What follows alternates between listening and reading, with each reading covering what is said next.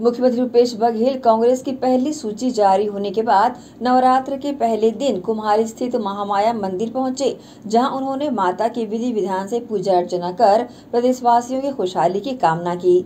छत्तीसगढ़ में आगामी दिनों में होने वाले 2023 विधानसभा चुनाव को लेकर जहाँ बीजेपी ने पचासी उम्मीदवारों के नाम की घोषणा कर दी तो वहीं कांग्रेस ने नवरात्रि के पहले दिन 30 उम्मीदवारों के नाम की घोषणा की। उनमें से एक नाम है भूपेश बघेल का, जिन्हें पार्टी ने एक बार फिर पाटन विधानसभा से अपना उम्मीदवार बनाया है।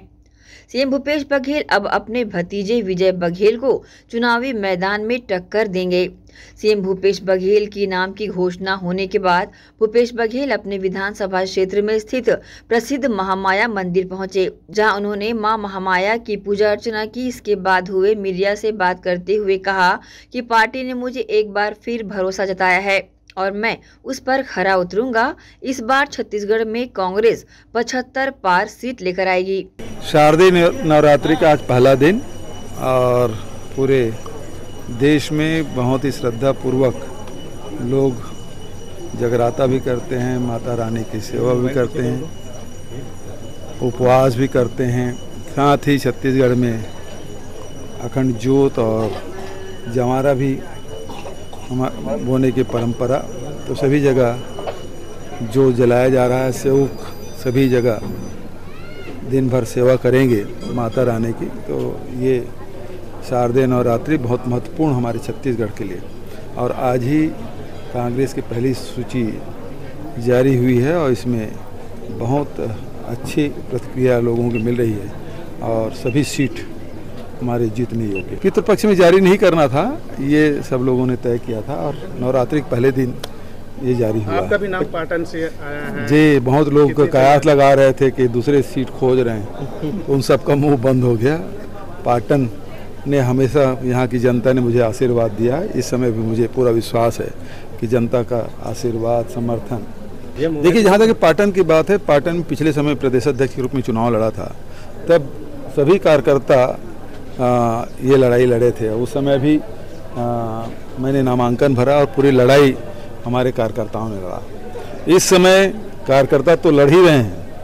इसके साथ साथ किसान है मजदूर है महिला है युवा है सभी लोग एक लड़ाई लड़ रहे हैं। आम जनता लड़ाई लड़ रही है। भारतीय जनता पार्टी अपना किसी भी प्रत्याशी बनाए उसमें मैं क्या कर सकता हूँ? उसमें मुझे कुछ कहना नहीं। लेकिन ये है कि मुझे पाटन के मतदाता पर पाटन के हमारे कांग्रेस के कार्यकर्ताओं पर। इस समय तो पचहत्तर पार है।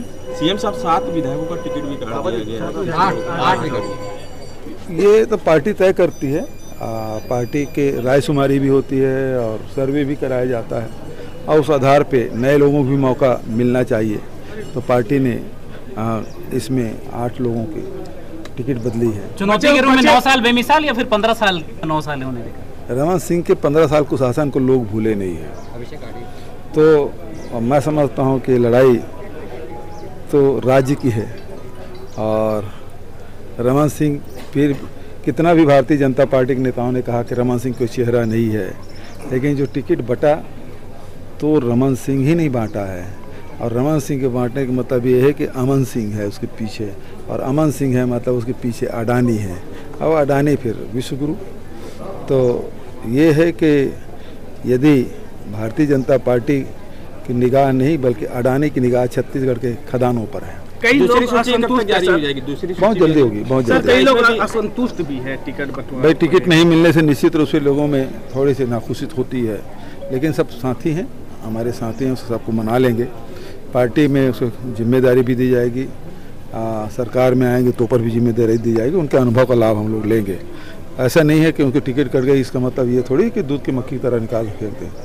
हमारी पार्टी में सबको स्थान मिलता है। दूसरी सूची में भी जो है क्या कुछ एक तरफ़ जहाँ बीजेपी ने 90 सीटों में से पचासी उम्मीदवारों के नाम की घोषणा कर दी है वहीं कांग्रेस ने शुभ मुहूर्त देखकर पितरपक्ष के बाद नवरात्रि के पहले दिन 30 उम्मीदवारों के नाम की घोषणा की है जिसमें लगभग सभी मंत्री हैं। आने वाले समय में कांकेर और 60 उम्मीदवारों के नाम की घोषणा की जाएगी वहीं बीजेपी पाँच उम्मीदवारों के नामों की घोषणा करेगी। इसके बाद ही जनता तय करेगी कि इस बार किसकी बनेगी सरकार और कौन होगा उनका विधायक। ग्रैंडेसियन न्यूज़ के लिए शैलन खरे की रिपोर्ट।